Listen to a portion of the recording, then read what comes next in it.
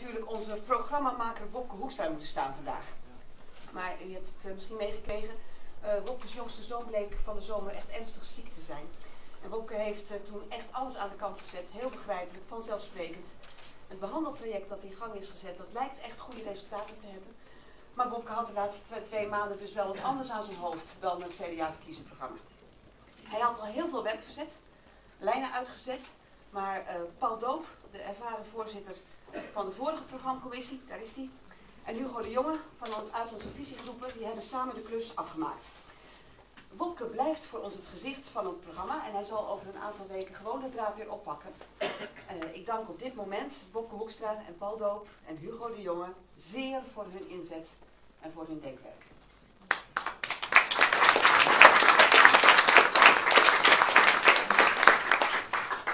Dames en heren, het CDA-verkiezingsprogramma dat ik u vandaag presenteer, dat is een visie.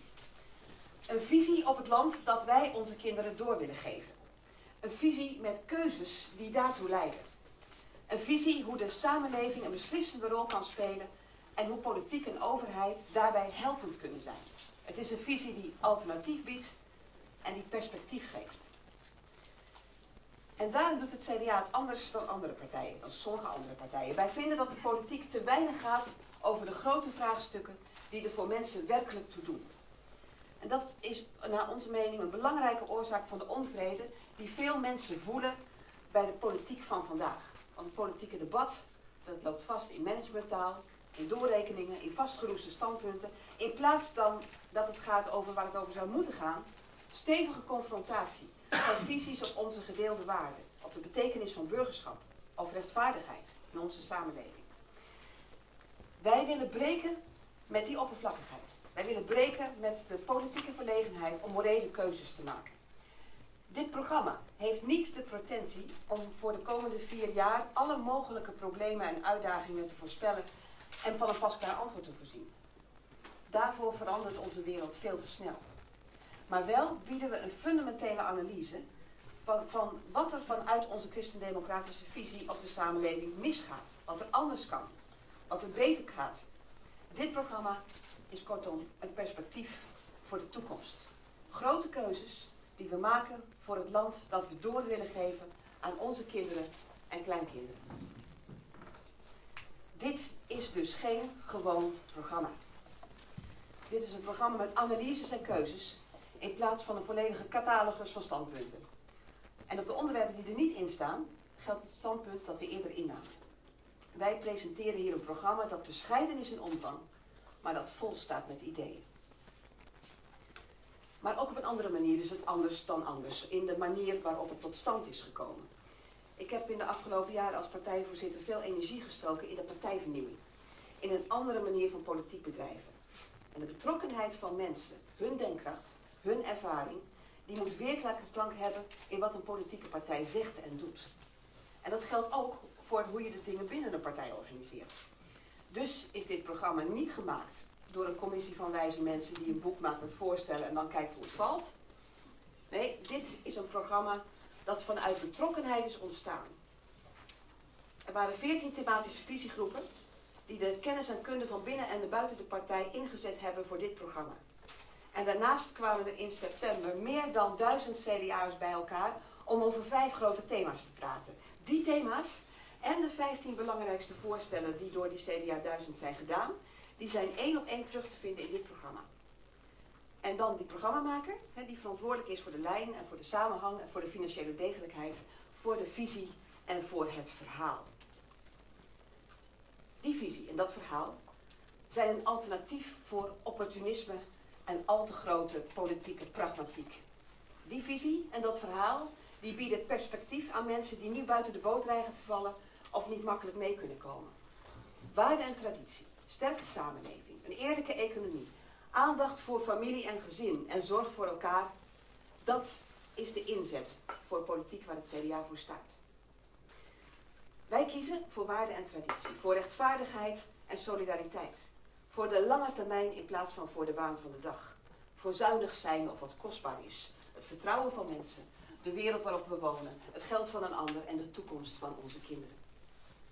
Wij kiezen voor een sterke samenleving. waarin mensen die verantwoordelijkheid willen dragen daarvoor ook de kans krijgen. En dat betekent meer ruimte voor vrijwilligerswerk, maatschappelijke dienstplicht bijvoorbeeld. Wij komen op voor de democratie en voor de rechtsstaat. Wij staan voor een sterk Nederland in Europa en de wereld en wij staan voor internationale samenwerking. Wij kiezen voor familie en gezin. De plek waar instaan voor elkaar begint. Voor elke vorm van relatie waarin mensen duurzaam samenleven en voor elkaar zorgen. Wij kiezen voor zorg voor elkaar. Voor een samenleving waaraan niemand aan zijn lot wordt overgeleverd. Waar de zorg voor ouderen, zieken en gehandicapten verzekerd is. En tenslotte kiezen wij voor een eerlijke economie. Voor eerlijke kansen. Voor duurzaamheid. Voor ruim baan voor het MKB, voor familiebedrijven. Tegen doorgeschoten flexibilisering en voor solidariteit tussen generaties. Vandaag de dag zijn veel mensen bezorgd over hun werk, over de zorg, over hun toekomst.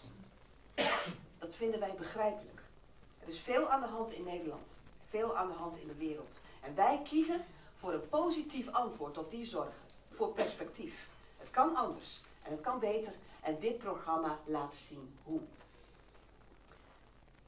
Na vandaag kunnen de leden van het CDA zich uitspreken over al die voorstellen. Lokale afdelingen kunnen wijzigingen indienen bij hun provinciale afdelingen. En de provinciale ledenvergaderingen maken dan een selectie en geven de amendementen door aan het landelijk CDA.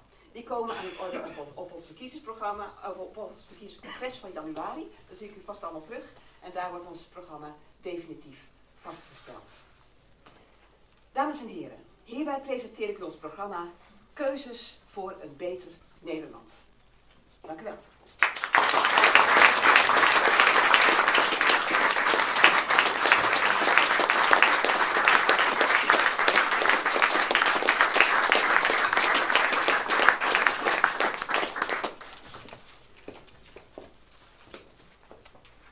Heel veel dank, Rut. Het verkiezingsprogramma gaat nu naar de leden en komt dan bij alle Nederlanders weer terug. Um, via jou wil ik ook, ook nog zelf mijn dank uitspreken aan Bob Hoekstra. Uh, plotseling moest hij door privéomstandigheden midden in het proces stoppen met het vele werk wat hij deed. En ik ben heel blij dat Paul Doop en, en, en uh, Hugo de Jonge meteen wouden inspringen en ook meteen dat stokje over hebben genomen.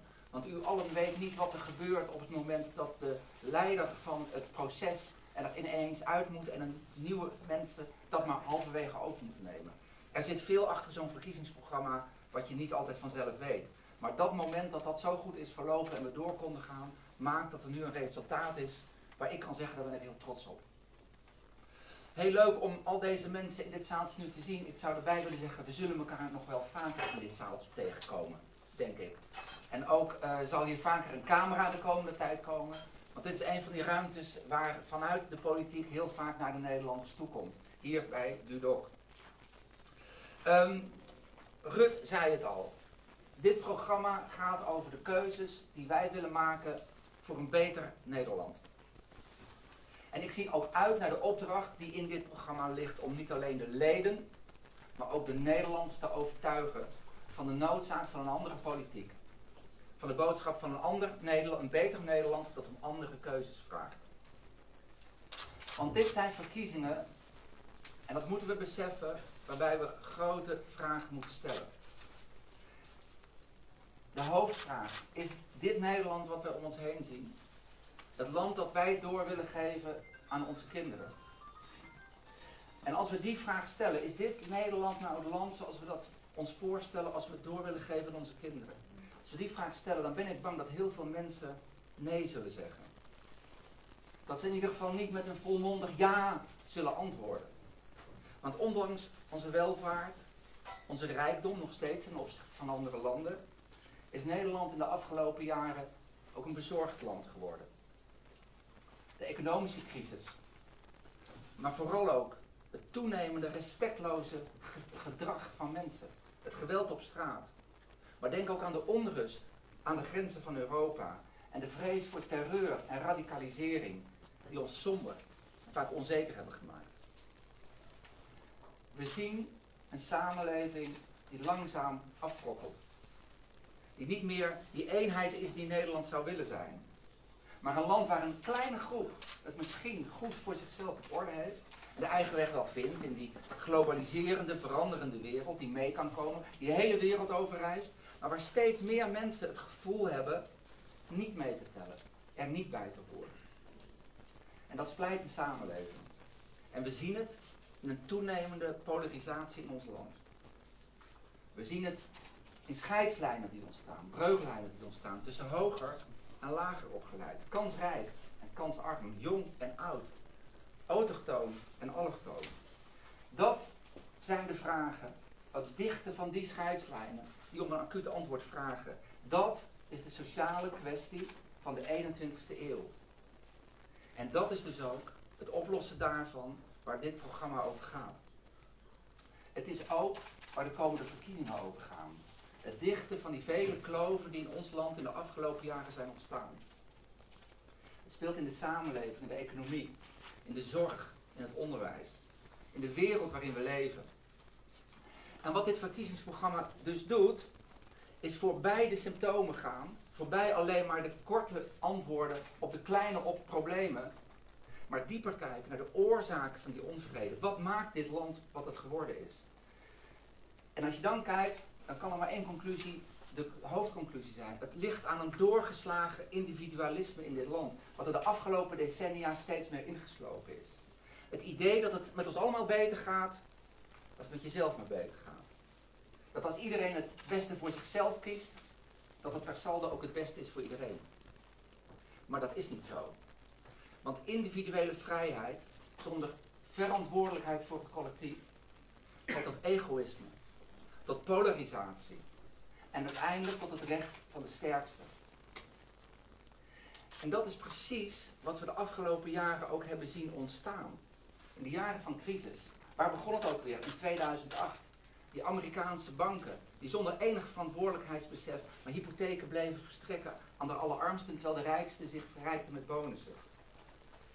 Het ging om bedrijven waar het kapitaal de hele wereld overzwierf, maar die uiteindelijk hier de ondergang vonden. Denk aan VND. Maar het gaat ook om politici die voortdurend met stoere taal denken het moment van de dag te beheersen, zonder te beseffen dat de oorzaken dieper zijn, dat de problemen groter zijn en dus ook dat de antwoorden meer doordacht moeten zijn. En uiteindelijk is het gek, het waren niet die bankiers, het waren niet die multinationals en ook niet die politici die de prijs voor dit beleid hebben betaald. Voor deze gang van zaken. Nee, het waren de gewone, hardwerkende burgers. De middenklasse. De families en de gezinnen.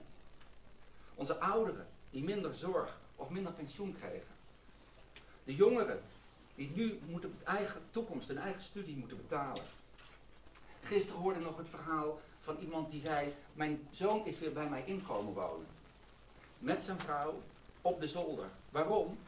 Omdat ze net te veel verdienen voor een sociale huurwoning, maar met geen mogelijkheid in de huidige situatie een huis op de markt kunnen huren of kunnen kopen. Mensen die wel een inkomen hebben. Dat is het Nederland van vandaag. En daar moeten wij verandering in brengen.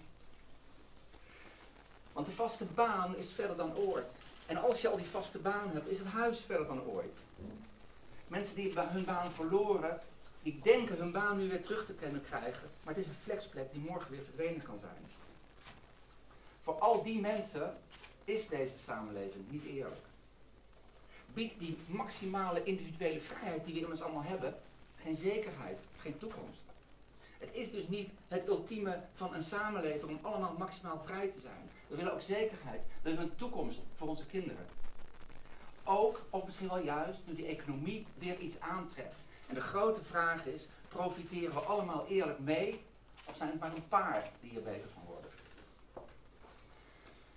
En die samenleving van ieder voor zich, ieder denkt aan zijn eigen toekomst, die verliest ook het besef dat we gedeelde waarden en tradities in dit land hebben. Het fundament van ons land. En waar hebben we het dan over? Er wordt zo vaak gezegd, je weet niet eens waar je het over hebt bij waarden, heel op straat. Maar het gaat toch om respect voor elkaar. Dat we ongelijkwaardig zijn aan elkaar. Dat we saamhorigheid voelen in dit land. Dat het meer is dan 17 miljoen Nederlanders die langs elkaar leven. Maar dat we samen ook een doel hebben. Dat er onderlinge spelregels nodig zijn over hoe we omgaan met elkaar. Als ik over die spelregels praat, dan is dat een verwijt wat je de politiek ook zou kunnen maken. Als het gaat alleen nog maar om hard roepen Of de andere kant, als het alleen nog maar gaat om modelletjes, rekenmodelletjes, waar we onze verkiezingsprogramma's in persen. Koperige plaatjes van procenten, groeicijfers van procenten, waarvan we weten dat ze aan het eind van het jaar bij die gewone Nederlander heel anders aankomen. Als politici alleen nog maar denken dat ze verkiezingen kunnen winnen, door het doen van grote woorden, onhaalbare beloftes, of door de polarisatie te vergroten, dan draagt de politiek zelf bij aan het toenemen van het cynisme in de samenleving. Dan is de politiek dus niet een deel van de oplossing, maar een deel van het probleem geworden. Dit is onze boodschap. Tussen diegenen die tegen het probleem van de mensen die de toekomst niet zien zitten, polarisatie plaatsen. Aan de ene kant. En aan de andere kant diegenen die koppig volhouden dat het fantastisch gaat met Nederland. Plaatsen wij ons in het midden naast die grote groep van mensen die snappen dat een beter Nederland vraagt om diepere keuzes, grotere keuzes, zodat wij een mooie toekomst tegemoet kunnen gaan. Om het goede te behouden wat er in onze samenleving is, maar ook om te veranderen wat fout gaat. Dus kiezen wij voor een beter Nederland, wat we door willen geven aan de generaties na ons, aan onze kinderen voor jullie doen. Dat gebouwd is op onze waarden en op onze tradities, op families en op gezinnen, waar mensen weer voor elkaar zorgen en meedoen in een eerlijke economie en in een sterke samenleving. Dat is ook waarom dit programma ook begint met waarde en traditie. Rut houdt het nog even omhoog, maar je moet het overdoen en dan kan je het ook zien. Maar het enige antwoord, het enige antwoord op die versplintering is dat we met z'n allen weer op zoek gaan naar wat ons bindt. Die waarden die bij dit stukje land horen, die door de eeuwen zijn doorgegeven antwoord op het doorgeslagen individualisme zit in iets waar de politiek veel te weinig over spreekt. Namelijk wat bindt ons? Wat maakt ons tot Nederlanders? Wat maakt het dat wij samen die toekomst in kunnen gaan? Dat is dat gedeelde besef van onze waarden en onze tradities. En daarom gaat dit programma ook zo over gezinnen en over families. Want daar begint dat. Een land heeft geen toekomst als onze kinderen niet opgroeien in veilige omgevingen, in veilige gezinnen. Maar het gaat ook over het onderwijs. Het gaat over de integratie van nieuwkomers in ons land. Wat geven mensen mee? Waarden en tradities moeten we beschermen, ook tegen diegenen die hier komen en vervolgens die waarden en tradities niet tot de hunne maken. En tegen diegenen die de democratische rechtsstaat willen gebruiken met als enige doel die democratische vrijheden weer te ondermijnen. We moeten ze dus levend houden, die waarden en tradities. Meer aandacht voor burgerschap. Maar ook voor cultuur dicht bij de mensen. Niet ver weg, maar onderling met elkaar. De gedeelde geschiedenis die we hebben. Het respect voor onze gedeelde symbolen. Ons koningshuis. Onze vlag, onze tradities, onze waarden. Onze Wilhelmus, om maar eens wat te noemen. Het koninklijk huis. En in die diepere waarden. Als zorgen voor elkaar. En de gelijkwaardigheid van mensen. Dat is niet hetzelfde als iedereen is gelijk. Want wij respecteren iedereen in zijn verschil. Maar daarin is iedereen wel gelijkwaardig in dit deel van de wereld. En daarom zetten wij tegenover die gedeelde samenleving, die versplinterende samenleving van nu, de ambitie van een sterke samenleving. Waar mensen zich veilig, thuis, betrokken kunnen voelen. Waar dus naast die individuele vrijheid de verantwoordelijkheid staat. Waar naast de rechten ook het besef is dat die in evenwicht moeten zijn met plichten. Het besef dus dat je iets bij moet dragen aan de samenleving. Als we dat allemaal niet doen, dan wordt het niks. Dat is de reden dat we in dit verkiezingsprogramma weer een dienstplicht invoeren. Omdat wij willen laten zien dat in dit, samen, in dit land iets krijgen ook betekent iets terugdoen. Maar dat is ook de reden dat wij vrijwilligersruimbaan geven. Als je de handen uit de mouwen steekt voor die samenleving, dan ondersteunen wij je. En we willen de politiek veranderen, dichter bij mensen brengen. Door de helft van de Kamerleden regionaal te laten kiezen. En we willen een kiesdrempel om de verdere versplintering in de Kamer tegen te gaan. En voor nieuwkomers is integratie een vanzelfsprekendheid, maar dat is ook een plicht. Zonder onze samenleving te aanvaarden kun je hier geen toekomst opbouwen. Wie niet inburgert, verliest het recht om hier te blijven. Criminaliteit pakken we aan. We beperken de vervroegde invrijheidstelling en we verdubbelen de, de straffen voor recidivisten. Je houdt je in het land aan de regels. Want dat willen we immers allemaal. We investeren in veiligheid en justitie en we willen meer bevoegdheden in de strijd tegen de terreur. Verheerlijking van geweld, dat is geen normale manier van vrijheid van meningsuiting. Dat verbieden we dus. Dat stellen we strafbaar. De wereld om ons heen wordt ook onveiliger en daar hebben we partners in nodig. Voor onze welvaart, voor onze veiligheid, maar vooral voor de, voor de bescherming van onze waarden, voor het land dat we zijn.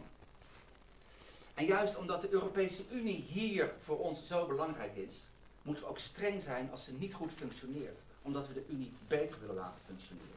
De buitengrenzen moeten beter bewaakt worden en vluchtelingenstromen moeten beheerst worden. We investeren in defensie, in opvang in vluchtelingen in de regio, samen met Europa. En we investeren samen met Europa in samenwerking met herkomstlanden. Om de toekomst daar een betere bevolking, een betere, om de bevolking daar een betere toekomst te geven. En ook een betere samenleving te bouwen. En ik zei al, in Nederland is de basis de familie, gezin. Het CDA is dé familiepartij van Nederland. Gezinnen, families in alle vormen van relaties zoals die tot ons komen. Maar waar de kern is dat mensen belangeloos voor elkaar zorgen. Dat is het fundament voor de samenleving. Daar begint die samenleving, dat land, wat aan de kinderen na ons willen doorgeven. Want uiteindelijk heeft iedereen familie. Ook als je alleenstaand bent. Zonder gezinnen, waar het begint, waar kinderen veilig opgroeien, heeft ons land überhaupt geen toekomst. Zo simpel is het. En ook daarom keren wij ons, ons dus tegen doorgeslagen individualisme. Omdat familie en gezinnen voorop horen te staan. Wat verbindt staat voorop, niet wat splijt. En omdat de mensen om ons heen in die soms bedreigende samenleving uiteindelijk het belangrijkste voor iedereen is. Wij kiezen voor een langer ouderschapsverlof. Voor vaders en moeders. Voor betere mogelijkheden om arbeid en zorg te kunnen combineren. De zondag blijft de zondag. Wij keren ons tegen het afschaffen van de zondagswet.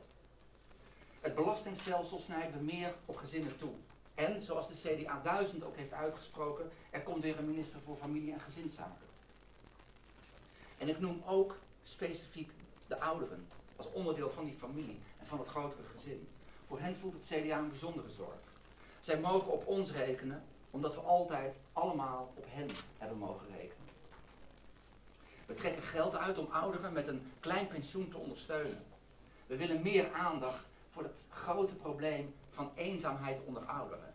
Want de vrijheid en de individualiteit van de een, dat is de eenzaamheid van de ander. Meer dan een miljoen ouderen leven in eenzaamheid. Anno 2016. Dat mogen we niet laten gebeuren. 60-plussers die vrijwilligerswerk verrichten of mantelzorg, die ontslaan we van de sollicitatieplicht. Die dragen immers al zoveel bij aan onze samenleving. Opvoeding en onderwijs zijn twee dragende onderwerpen in onze Nederlandse samenleving. Om de groeiende scheidslijnen die we zien tegen te gaan. En toch zijn juist hier door het huidige kabinet verkeerde keuzes gemaakt. Wij staan voor gelijke kansen voor alle kinderen. Om hun talenten te kunnen ontwikkelen. En om te leren wat het is om Nederlander te zijn. Actieve burgers in een sterke samenleving. De huidige kinderopvang en peuterspeelzaal, die voegen we samen tot één voorschool voor de allerkleinste. Gelijke kansen, voor zover dat uh, peuterspelers samen tot één voorschool voor de allerkleinste. Gelijke kansen willen we ook bij de universiteiten. Door het terugdraaien van het leenstelsel wat VVD, PvdA, D66 en GroenLinks hebben ingevoerd. De voorspelde uitval van studenten, vooral ook hier weer kinderen met een laag, gezinnen met een laag inkomen, is on-Nederlands en wat ons betreft onacceptabel. In ruil daarvoor wordt de huidige OV-kaart vervangen door een tegemoetkoming in die reiskosten die nodig zijn voor de studie. We willen een versterking van het VMBO en het MBO, meer ruimte voor vakmanschap en verhogen de kwalificatieplicht tot 21 jaar. In de zorg voor zieken en ouderen heeft het beleid van het huidige kabinet tot veel onnodige onrust geleid. Bij juist diegenen die het meest kwetsbaar zijn in onze samenleving. De hervormingen waren noodzakelijk, maar zijn ondoordacht, te snel, te veel met de hand op de knip doorgevoerd. Wij hebben de dure plicht, en voelen die ook, om het met onze ouderen te herstellen.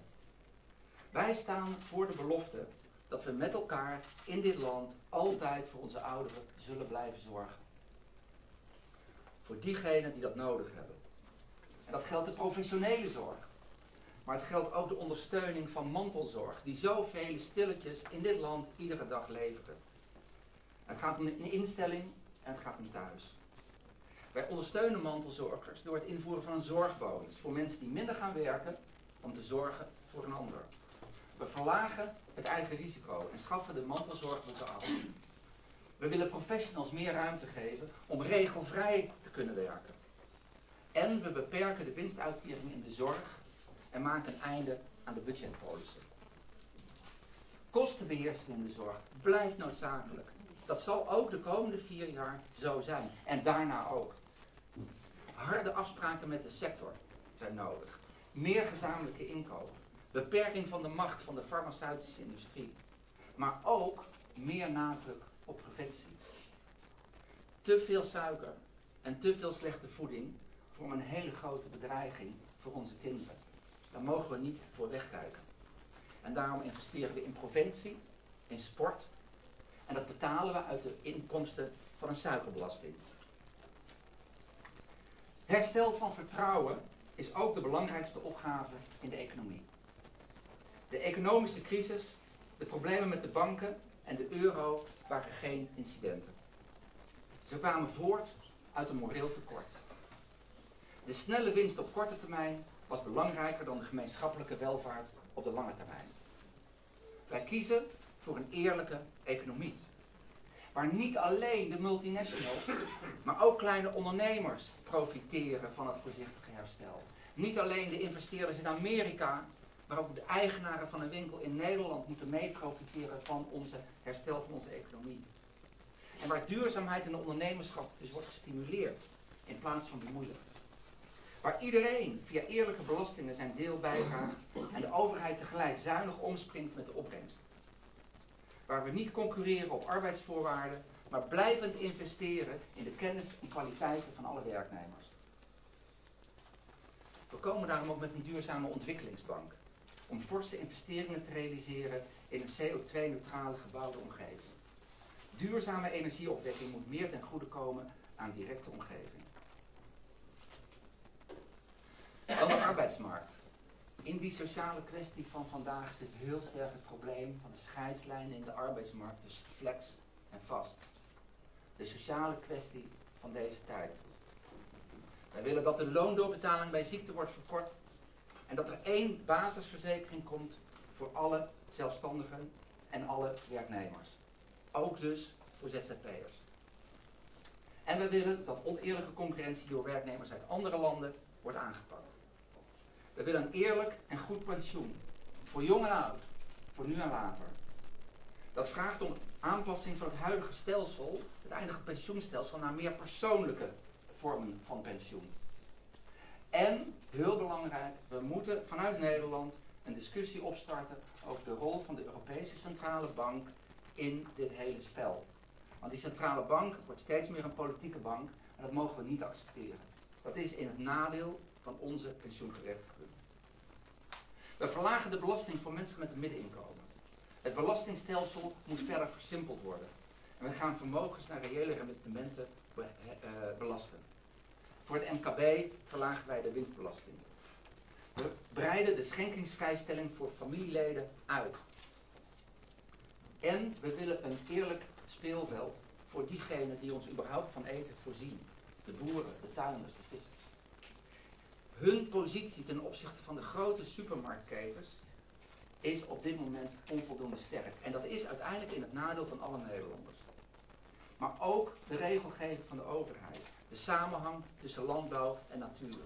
Al die onderwerpen moeten veel beter worden beantwoord om te zorgen dat wij voor de toekomst in Nederland nog onze voedselvoorziening zelf kunnen produceren. Dit zijn onze keuzes voor een beter Nederland. Onze ambities voor een sterkere samenleving, waar iedereen meedoet. Van gedeelde waarden en tradities. Van families en gezinnen. In de zorg voor elkaar. En in een eerlijke economie. We pakken problemen aan in plaats van ze te ontkennen. Die boodschap van verandering en van verbinding kan de scheidslijnen in onze samenleving overbruggen. En dat is de dure taak van de politiek. Om niet te polariseren, maar om te zorgen dat deze samenleving zich En ook met zelfbewustheid de toekomst tegemoet kan gaan. En daarmee een antwoord kan bieden op de onzekerheid. Een perspectief voor een beter Nederland. Op een land dat we door willen geven. Dank u wel.